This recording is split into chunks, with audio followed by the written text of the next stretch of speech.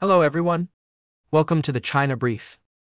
We bring you the latest global media coverage on China's current affairs, economy, and society, as well as exclusive analysis.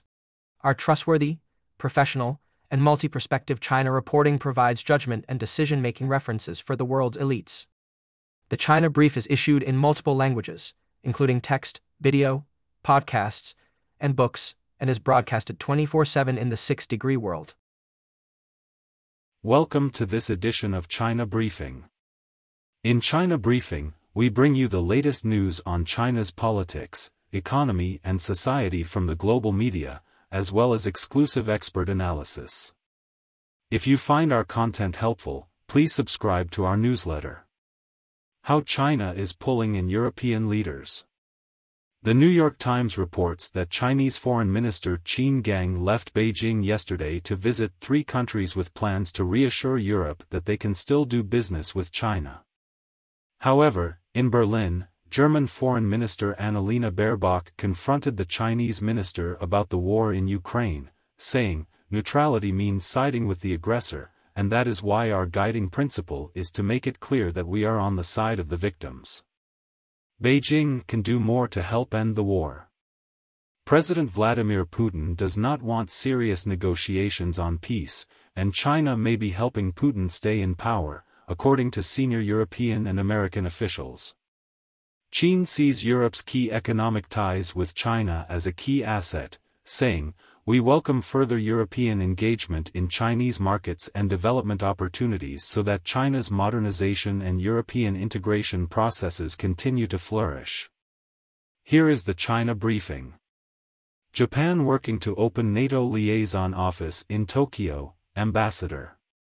Nikkei Asia reports that Japan is working to open a NATO liaison office in Tokyo as the US-led alliance seeks its first center in Asia, according to Japanese ambassador to the United States Koji Tomita. The U.S. has not confirmed the report, which suggests the office would facilitate consultations in the region. According to Nikkei Asia, the move is aimed at addressing geopolitical challenges from China and Russia. China, however, said the move justifies high vigilance in the face of NATO's eastern expansion. Here's the China briefing. Asian women are insecure about retirement, but worry investments aren't right for them. A study by Fidelity International shows that women in the Asia-Pacific region are less confident than men about their retirement funds because of rising inflation, global economic uncertainty and a lack of investment confidence, the South China Morning Post reports. The survey found that the cost of living is the top concern for 81% of women in the region, followed by 73% who are worried about the long-term health of the economy. 7 in 10 women in Asia are anxious about their ability to save and invest, while less than 30% say they are confident they have enough savings to support them in retirement. Women tend to focus on things they can control, such as reducing expenses, while men are more likely to invest to help meet retirement income needs. Less than a third of women invest in stocks and shares, with most preferring cash savings, time deposits and foreign currency. Here's the China briefing. First FT, China vows to retaliate against EU sanctions. The Financial Times reports that China has threatened a strict and firm response to the European Union's proposed sanctions against eight of its companies. The EU accuses the entities of selling weapons-related equipment to support the Russian military, and the proposed sanctions are contingent on unanimous agreement by EU member states. Chinese Foreign Minister Qin Gang added that normal exchanges and cooperation between Chinese and Russian companies exist and should not be interfered with. This is a China briefing. Canada fears China may cause pain in escalating diplomatic expulsion row.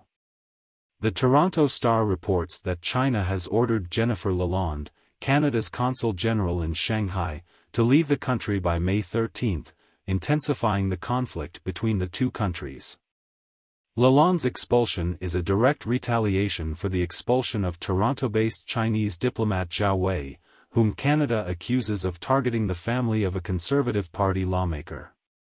The Canadian government also warned that China could retaliate economically. In the past, China has blocked imports of Canadian goods and imposed stiffer fines on Canadians imprisoned in the country as a result of political sanctions or actions. Here's the China briefing. How Japan's leaders are finding their groove. Bloomberg reports that Japanese Prime Minister Fumio Kishida has made a comeback under favorable conditions, weathering scandals and controversies and re-emerging with successful diplomacy. An expert in international relations, Kishida's strengths have been exploited by the Biden administration's strategy to contain the rise of China and promote allies, and the successful launch of the vaccine has brought an end to most of Japan's new Crown-era measures. Kishida may now use his favorable conditions to call an early election, capitalizing on his current domestic and international support so that taxes and other undesirable conditions do not affect his popularity. Here is the China briefing. Low carbon, made in Vietnam, a new recipe for Chinese exporters seeking orders. The South China Morning Post reports that low-carbon production plants in Southeast Asia have become a valuable tool for Chinese exporters to gain new customers in the West. Showcasing green products at the recently concluded Canton Fair, organizers reported that more than 129,006 overseas buyers placed orders for $21.7 billion. We have signed orders worth $500,000 at the Canton Fair, all of which came from Europe and the US because they are so focused on recycling and green growth, said Lu Ku, head of Vontone Stationery in Ningbo. Meanwhile, Ray Zhang, sales manager for Shanghai's newest luggage, said, as our European customers have told us, the future is decarbonization. China has invested heavily in renewable materials to fuel its green transformation and boost its economy after President Xi Jinping announced a dual carbon goal for 2020. The Canton Fair, also known as the China Import and Export Fair, was held offline for the first time in three years, and many multinational companies accelerated the deployment of their China Plus One and, in China, for China strategies to diversify their investments into other regions, including Southeast Asia. Here is the China briefing.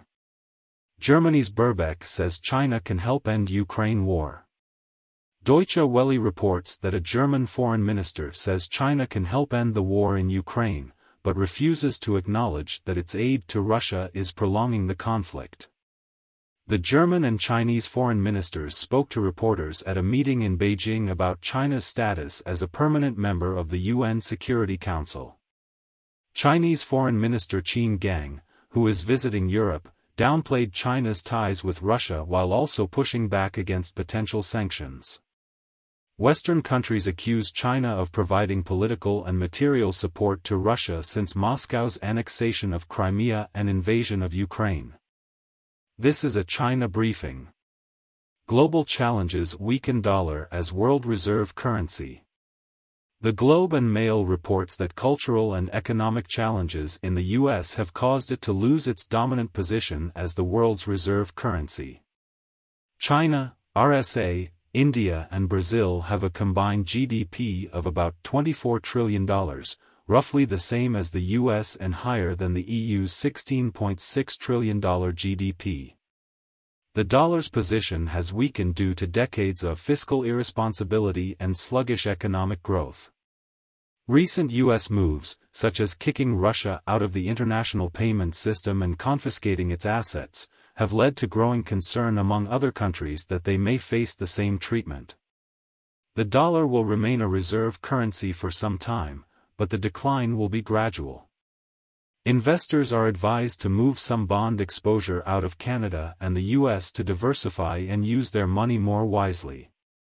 Here is the China briefing. Sri Lanka's creditors hold first meeting with China as observer. Nikkei Asia reports that Sri Lanka's creditors, including Japan, France and India, held their first meeting to discuss restructuring the country's debt. The largest creditor, China, sat in on the virtual meeting, raising doubts about the success of the process. Participants agreed to reduce Sri Lanka's debt, but it is unclear whether China's participation is necessary for a successful resolution. Here is the China briefing. How good can China be at generating artificial intelligence? While China is ahead of the US in some aspects of AI research, the US is still ahead in building the foundational models that give intelligence to generate AI, according to The Economist. U.S. innovation in producing a highly digital and English-language Internet has helped create more data for U.S. machine learning, as 56% of all websites are in English. Lack of data is also one reason why the Chinese Wu Dao 2.0 AI model, which was launched by the Beijing Institute of Artificial Intelligence in 2021, did not make its debut because it had relatively little data to train on. Another obstacle is the U.S. technological advantage in terms of hardware and technology exports.